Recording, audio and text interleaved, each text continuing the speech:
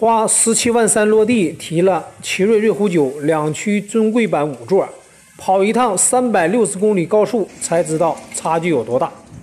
外观大气稳重，定位中型 SUV，车身长度四米八二，轴距长度两米八二。上高速时，速度达到一百二十公里时速时，油门踏板只踩到了三分之一。发动机转速是一千八到一千九百转，不到两千转。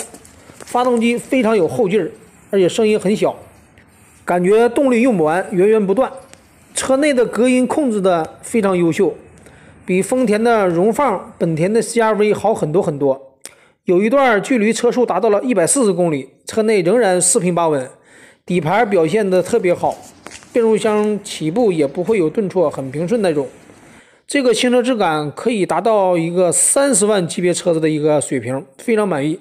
高速油耗表显是七个多，不到八个，真的是很难想象这是一台国产的奇瑞车吧？